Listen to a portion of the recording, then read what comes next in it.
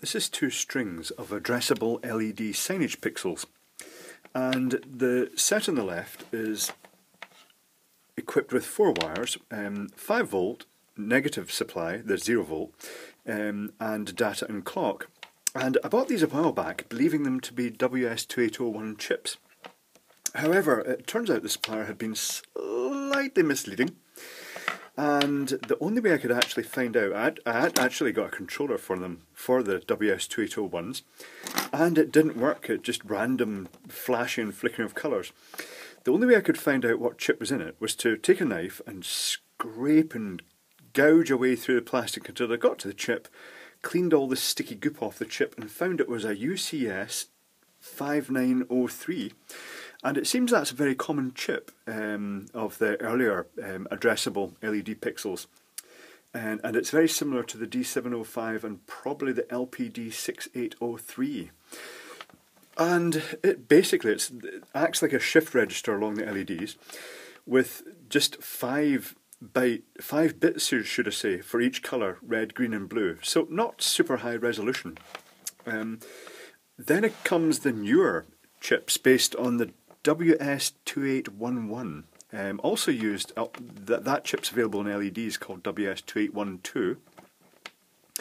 And it's quite clever. It's three wire, it's 5 volt, 0 volt, and data. And the data is just a quite a strict timing tolerance. And once you've started sending data out to this string, you kind of can't stop. It's quite demanding. Uh, it wants all the data at once.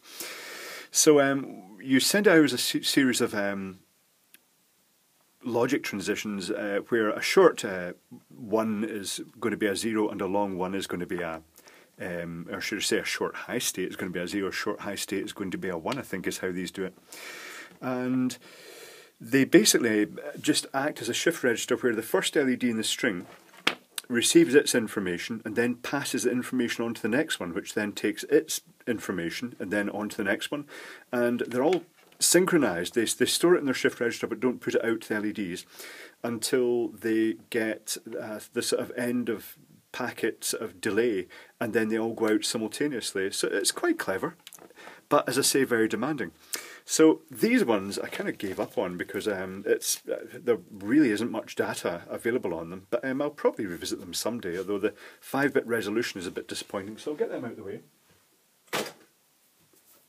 And these ones, I got this tiny little inline controller for them for just a few quid on eBay just to try them out. So when I power it up with 5 volts, they do this rather attractive spectral colour chasing effect. It's quite nice. Which is good because it's the only decent effect in the thing. Because um, uh, they've really used a small controller in here, and because the timing is so demanding, um, I, I originally wanted to write a bit of software for something like a PIC12 microcontroller that would do really complex effects by generating the colours in real time using algorithms. And it's quite hard because um, it really does demand the data at a very high speed that if you're bit bashing it, that virtually eats the full capacity of the processor. It really is very demanding.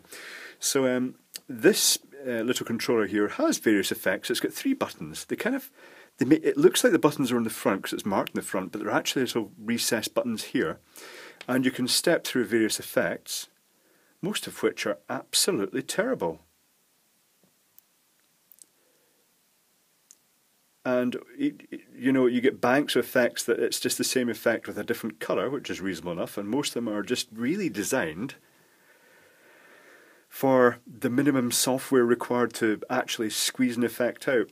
And it's notable that uh, this is a string of 50 pixels, but it only seems to control up to 30 and then it echoes on after that, except in the sort of that smooth colour transition effect. Um, so not, uh, you know, I quite like that uh, effect, the one with the colour, uh, sweeping colour transitions. But uh, that's really about it. The other ones are just not really inspired at all. They're just basically packers just to make it look like it's got lots of effects. But anyway, let's uh, take this to bits and see what's inside it. It's quite neat. It's uh, just done the style of the little mini RGB controllers and amplifiers that the wires are just going in. Uh, I'll, I shall move this where people can actually see it. Let's see if I can not. uh, slice right through something crucial. Including me.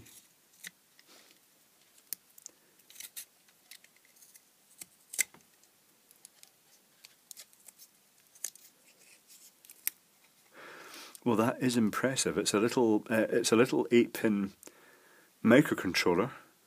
Very little circuitry in this. Very little circuitry in it indeed.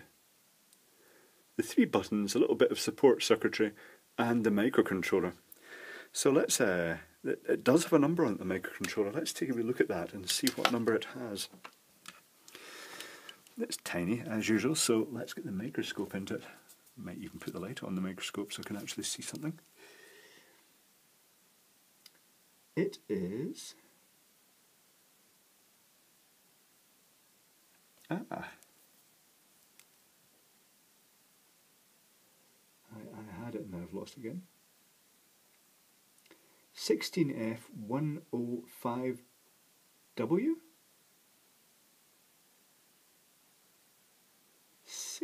is that a 16 or a 15? It's very hard to tell. It's one of those laser etch. It's I think it's 16F 105W. I shall note that down. 16F 105W. I wonder if that's a, a variant of the PIC 16. I'm not 100% sure.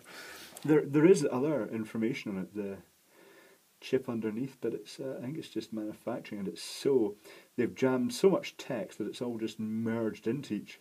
The characters have actually all just squished into each other, so I, I can't actually read that. I think it says HBH four eight two C eight, but I'm not really sure.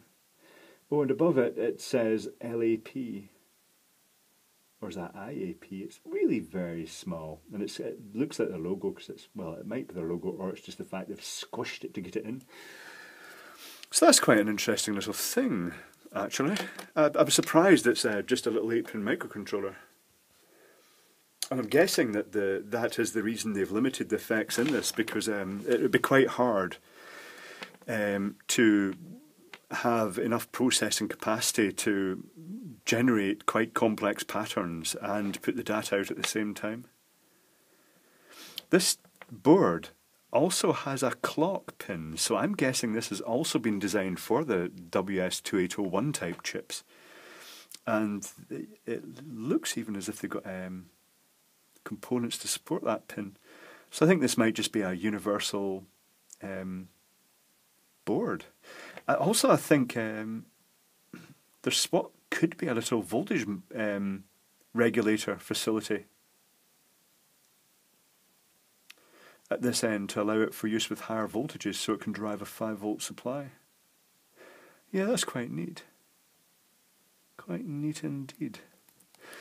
Yeah, so um, there'll be interest to play about with, but um, there is a newer chip. Um, Julian Illett mentioned it recently, I'm pretty sure, and um, he was I, I, think I looked it up on the internet and it's quite readily available. And it's going back to the four wire option where you've got the data and the clock but um, it means that you can actually, you know, the processor doesn't have to be running so quickly to be able to actually get the data out. It can actually have time to process.